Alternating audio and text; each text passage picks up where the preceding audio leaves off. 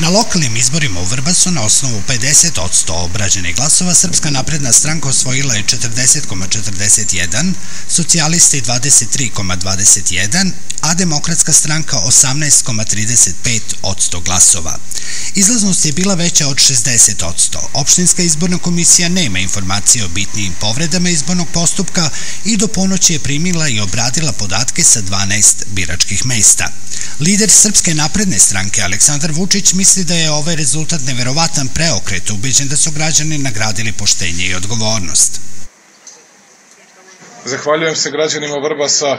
Ovo je za nas ogromna obaveza, izuzetna odgovornost, ali i prilika da pokažemo da možemo da uradimo nešto i za našu zemlju i za Vrbas. Ovo pokazuje, ovo je naša peta ubedljiva pobeda u Vojvodini i ja svima onima koji su govorili o legitimitetu na republičkom nivou, a s poštovanjem sam ih slušao i uvek odgovarao da smo spremni da prihvatimo tu utakmicu, samo ih pitam, a da li razmišljaju o proveri legitimiteta na pokrajinskom nivou? Potpredsjednik Socijalističke partije Srbije Dušan Bejatović misli da ovi rezultati u Vrbasu pokazuju da vlada Srbije uživa punu podršku građana.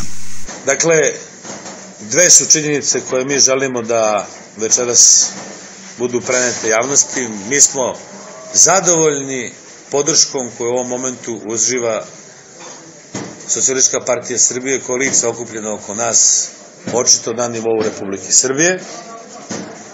Tu mislim pre svega na PUPS i na Jedinstvenu Srbiju, ali i na naše koalicijne partnere iz Savjeza Vojvodinskog Mađara i Udruženja Krajišnika i s obzirom da kad saberete glasove onih partija koje čine republičku vlast, očigledno je da ona politika koju danas vodi vlada Republike Srbije ima većinsku podršku u biračkom telu Srbije nesumnjivo.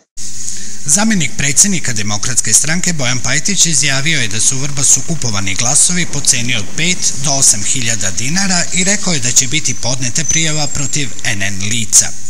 Ono što je u ovom trenutku moguće e, saopštiti jeste jedino to da je izlaznost na ovim lokalnim izborima bila 63,3%, da su oni protekli u atmosferi nasilja, da su protekli u atmosferi batinanja naših aktivista, da su protekli u atmosferi privođenja Gorana Ješića zbog toga što je imao dovoljno građanske hrabrosti da javnosti Srbije saopšti da je mleko koje naša deca piju nekvalitetno i ne odgovara standardima ni evropskim ni srpskim, protekli su u atmosferi kupovine glasova, zbog toga ćemo pokrenuti i krivične prijave protiv ene lica, tražit ćemo da nadležni organi utvrde na koga su se građani koji su dolazili u našu stranku, u mesne zajednice, na biračka mesta žalili, jer su tvrdili da se glas večera skupovao u iznosu od 5 do 8 hiljada dinara po jednom glasu, to je nešto što je neprihvatljivo, to je nešto što je suprotno svim demokratskim standardima. Mada opštinska izborna komisija još nije reagovala na prigovore o eventualnim izbornim nepravilnostima, ne znači da ih i nije bilo.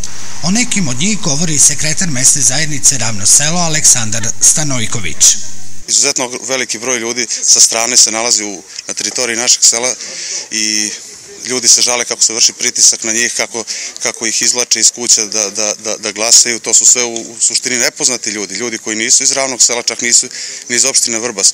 E, građani se žale, osjećaju se neprijatno, osjećaju se nebezbedno i, i ovim putem bi apelovao da se to ni ovde ni nigde više ne ponavlja. Pet od osam prijavljenih lista nije prešlo cenzus. Pokazali su nezvanični rezultati na osnovu prebrojanih glasova na 32 od 36 biračkih mesta. Prema nepotpunim podacima kojima raspolažu stranački predstavnici u biračkim odborima, ispod cenzusa su koalicija Liberalno-demokratska partija Liga socijaldemokrata Vojvodine, Grupa građana Svi zajedno Socijaldemokratski savez Branislav Petrović, Lista Demokratske stranke Srbije Asocijacije mladih Vrbas, Srpska radikalna stranka i Grupa građana Dveri za život Vrbasa Ivan Kostić.